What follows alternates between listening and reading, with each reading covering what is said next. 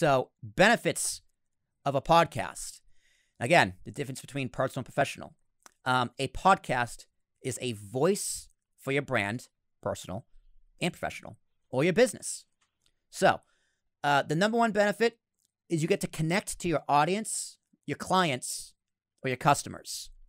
Now, what that means is you have something to say. If you're hosting a podcast, you have something to say.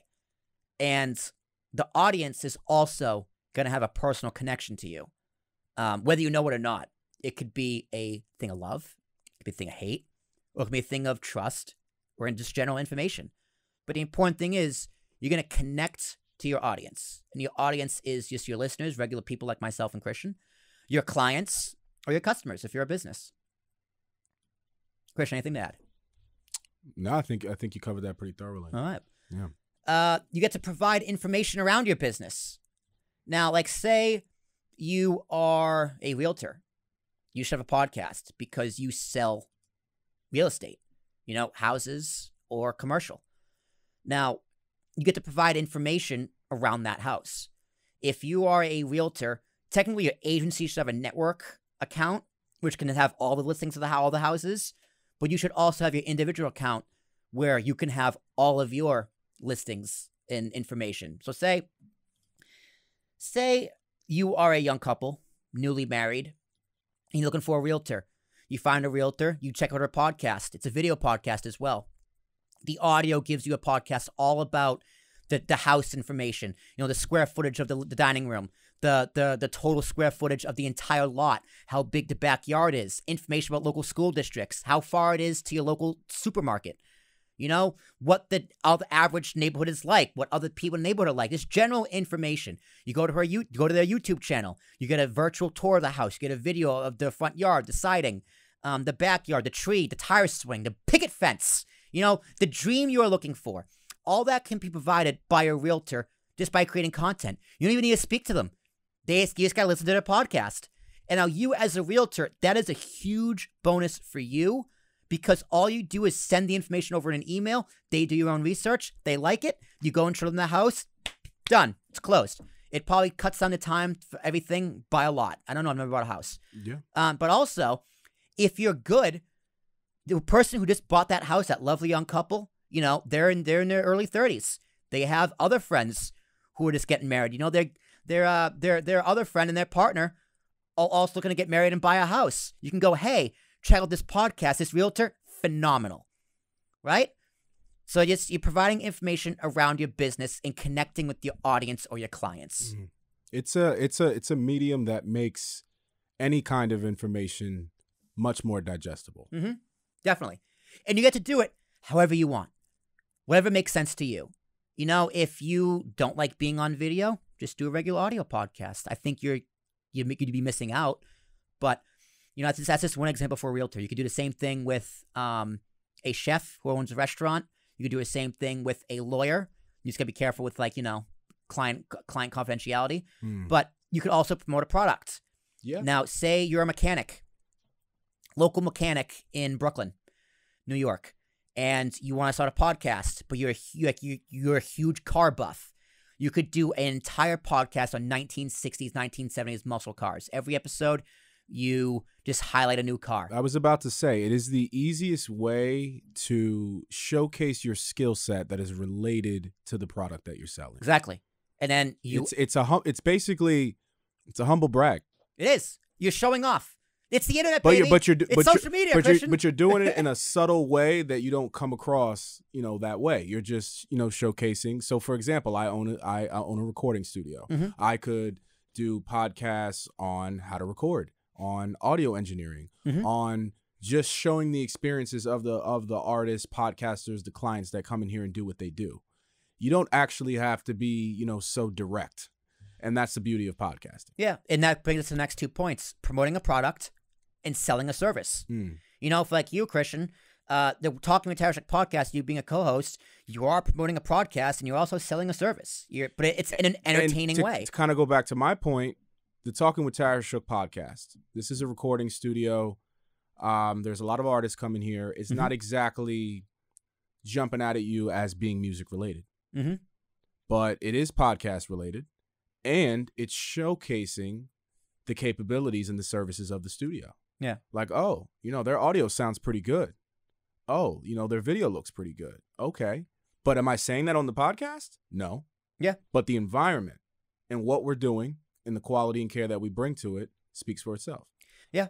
And It's and you know, just to throw out some ideas or, you know, how that relates back to, you know, sometimes myself doing podcasts. If it's not about a particular topic um, you know, related to the business itself. and you get to demonstrate your expertise. Exactly. like back to the muscle car, right? He has an he's an expert in cars, right? Um, and you run ads in the beginning and end of your show specifically for your auto shop, and you target those ads, you know, around Brooklyn. Yeah, it's an international audience for podcasting, but you can still target it for Brooklyn, right? If you, put it on the website. It's it's right there. There's ways to do that, and Jared Laverne um, will go into in depth on uh, automating your marketing, optimizing your syndication, um, advertising. You know, it puts more eyes on your business and product, promotional material, discount codes, donation tabs, online stores, drop shipping, merchandise. Mm. That's just the tip of the spear, guys. Well, back in the day, you had to buy ad space, Yeah. buy a billboard, shoot a commercial. Yep. These are the things you had to do. If we're talking, you know, relating to promoting a product, hmm you know, it it's not cheap. Try to get a billboard in New York City. Yeah, one, Christian. One of the questions on the Talk My Tarashuk podcast is how much you think a, a, a New York Times that's billboard exactly is. that's exactly what made me think of Yeah, it. so exactly we haven't asked that yet, but that's that's that's that's the first guess game. So I have no idea how much it costs, but it's gonna be fun when we actually ask that Interesting question. enough, a friend of mine had a billboard, and just to kind of give us an idea of how expensive it is, not an actual number, he only had it up for a couple hours. Oh my god, Probably, you know, eight hours out of the day. it's probably thousands of dollars. Probably. Probably. I mean, we're talking Times Square. Yeah, of course. Yeah. I, I, I picked like the, the the the central hub. I mean, because you got to pick, pick a good time. Yeah. I mean, but is there a bad time in New York City, the city that never sleeps? uh, yeah. I mean, Definitely. there still is a, uh, a less optimal time. but yeah, Yeah, we'll So get there. That's what you had. To, that's what you used to have to do. And a podcast is something that you can do yourself Yeah, at with- a fraction with- of the cost. At a fraction of the cost. At a fraction of the That's- cost. That's, the point. to a wider audience, exactly. international, as in the entire world. Mm. and it lives forever. Yeah. So like there there's podcasts I listen to right now, Christian, where in the pandemic I got really behind. Believe it or not, I got behind my podcast listening, and it was a wrestling podcast, and I uh it there was released in August of 2020. Mm. And I listened to it the other day, and the ads are still on that podcast. And as long as those discount codes and those promo codes are still active and that partnership still exists, I could still get that discount two years later. Yeah. Tell me another form of adver- like from uh, advertising from a podcast. from a podcast, an audio only podcast. Their video is kind of poopy, but an audio only podcast. That ad lives forever, Hmm. and you never know when people are going to go back and listen to something. and so- you know, it. But you're looking at it from the consumer side. From their side, there's always an, there's still an existing opportunity for new business. Yeah, yeah. Right. And if you want to go to the personal side, you know, uh, another benefit of podcast is you entertain your audience. It's fun. This podcast, even this podcast right now, I was kind of like not scared to do it, but I was kind of like, how do I do this? Mm. Now I'm doing it, having a ball. It's a lot of fun. We're doing it. We're doing it because we kind of have to. We want a business. Um, but it's also a creative outlet. You know, I have gotten great benefit from this year uh, with Talk with Tarashuk because it let me explore my creative outlets. You know, all the graphics you've been seeing and will see on this podcast is done by me. All the editing is 100% done by me. Anything you see on the posting on YouTube and the scheduling on social media, that's 100% all done by me. Um, which sucks, but someone's got to do it but it's still a creative outlet. You know, I like I like kind of exploring how to use Adobe After Effects and creating these new graphics because it's it's a skill, it's a muscle, it's something I get to work out, and I have gotten a lot better, and that transfers over to my professional work. It transfers over everything. Um, so that creative outlet is incredible, and you get to expand your network. That's one of the final Right, ones. Right. Uh, you on know, here. uh, build upon social skills. Although it takes a certain level of uh, social ability to to be able to hold a conversation, ask interesting things, have interesting feedback. Um, all, all of it.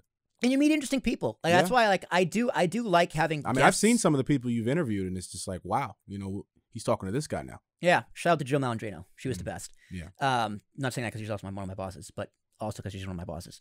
But yeah, like you you get to expand your network. You know, I from that podcast with Jill, I got two more people from my podcast who one I never thought would ever be a guest to my podcast, and that was actually her former boss uh, by the name of Alan, friend of the show, Alan.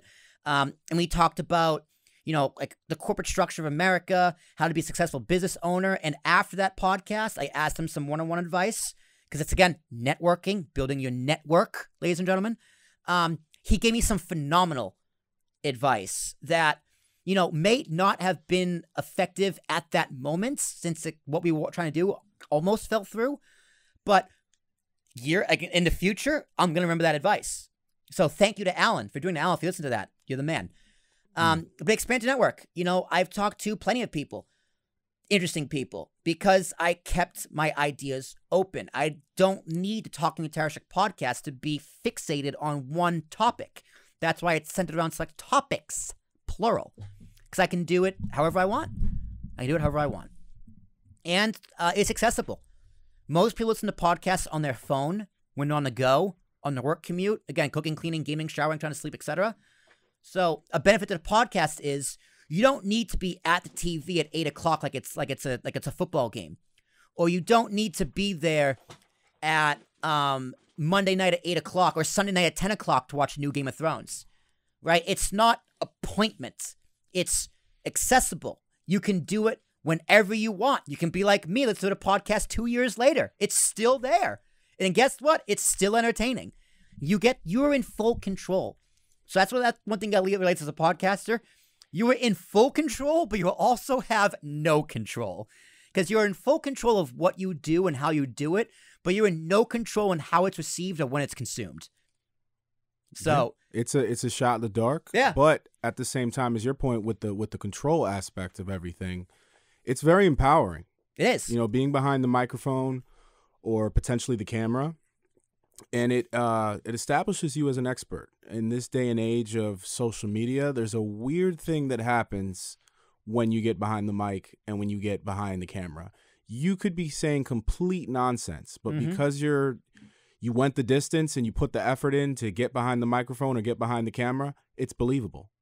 It's freedom. It's it's you know it's creative freedom. It's so freedom. And That's uh, last for, uh, for a lot of people, seeing is believing, and I'll add and or hearing to yeah. that to that sentiment. I mean, Christian, you're you're new to podcasting, right? I oh, think yeah. I think was was I the first one you did? Or actually, we're on with for this episode, this this podcast. Um, I did a couple podcasts. You did a few with Jared. With Jared, yeah. um, nothing that aired, but kind of got my feet wet, so to speak. Yeah, but Jared, it definitely like it definitely wasn't the real deal with us doing uh podcasts day in day out, audio going, uh, video on. At times having virtual guests, people physically in the studio. Definitely a different animal.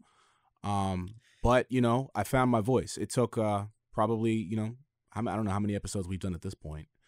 Um, probably a dozen. Yeah, probably a dozen. Probably yeah, first two, I had to figure, you know, I had to figure it out. Yeah, I kind of. It's uh, like I'm a very, I'm a very social guy, but it's yeah. different once the camera is there, or um, you know, that's really the aspect for me. I just remember your first dozen podcasts or so, if not the first year, it's gonna be bad. It's gonna be really bad. Depending but, on who you are. You maybe you have a knack. Maybe. I mean, not everyone's like me, who's just a natural at it. Yeah, um, yeah. But you know, I I I can listen to my first ten podcasts. I hate them. I they're out there, except the first one. The first one's not out there, which is like, ironic. The first podcast I ever did is in public. Um, mm. Um, I lost a file, and I'm glad because it was awful. But gotta I, find you gotta find your voice. You gotta find yeah. your your, you know, sometimes you're, you know you're there there isn't there isn't that much of a difference between your persona and you know what you're putting out there. Yeah, I, and I, some and sometimes it's uh, you know, you will yourself. Um, you uh, you come alive. I do. You come alive, but it, it is you. It's part of you. Yeah, you so. you totally can't tell I ate Burger King before I got here. Oh, absolutely. This yeah. guy's always on fire. I was I was just like, ugh, down in the dumps. But now, you know, I don't know what it is, man. Once I, once I don't know once, what it is. Once it starts rolling, you're you're in the zone. You can't teach that either. Like if and, you look, and if, if that's if that's who you are, then that then then you should definitely do a podcast. Yeah, if you're if you're coming to this that's series to try reasons. and find your voice from me, I can't help you. You know, you only you can find your voice. But path of self discovery. The the free expression part of podcasting is the biggest and most important one podcasting isn't regulated, kind of yet. I mean, It's self-regulation for the most part, but like you know, the TV has the FCC. Yeah, as long as you're not doing anything criminal. Yeah, as long as it's not doing anything criminal. But even even that, like, I mean, you could have a podcast with you just saying curse words in different languages. You know, there was a time you could you couldn't even say curse words on TV. yeah, But, but, you, you can know, say whatever word you want on a podcast, Whatever you want. whatever you want. Whatever you want. It could be you could be saying horrible things. it does it does it, but and and that's the thing. I'm not saying I'm not promoting, you know, saying horrible things, but I'm just saying you can you can do the the world is your oyster. Yeah, it, I really do consider it one of podcasting. That is one of the I'm most on putting the camera on you for this one. it's one of the most purest forms of communication and i do think it's one of the last bastions of free speech. No censorship. yet. Yet. You you, you think it's i mean anything's possible. I don't know. You know i can't i don't have a crystal ball here but um it's it's still early enough for you to be grandfathered in i think. I think. But I, d- I think because like who would they go after? Who would they go after? By they i don't even know who they is who who is they and who they go after What- itunes one right, you take it off iTunes, on Spotify, and twenty different other places. right. It's You not guys at a hosting there's platform. no there's no Like, there's really uh, there's really no central nervous system. yeah, exactly. It's, it's- kind of like uh what's it uh blockchain. Kind of, kind Um, of. But I will say this to people that are thinking about doing a podcast, if you're thinking about it, do it. There are people like there are people that got in early on social media, got Mhm. in early on TikTok, got in early on on platforms like Instagram, and they're huge now. When everyone else was kind of tiptoeing the line and thinking about doing it, maybe didn't maybe didn't go for it. Now, um, those people, a lot of those people are wildly successful. So that's another thing. yeah. So that's get, get get in it before it's just it's it's saturated. I don't I don't I don't I don't think it's saturated at this point. I don't think it is. I don't think it's ever gonna be saturated. Mm. I, I don't because I think it's the future. Because you know, look at look at traditional media, and by traditional I mean you know cable news, broadcast media, the cable TV model. You know, the idea of ratings Mm. is completely changing. The model of what it means to have successful content is completely changing day by day, year by year. So I don't think it's ever going to get oversaturated. It is, however, going to be harder to make it to the top, but I do think it's going to be more of the best will make it and not necessarily who has the most money and who is in the most control. Right. Now let's leave that at that. Mm. Um, because I don't want to get I don't want to get political and silly on this Let's podcast. uh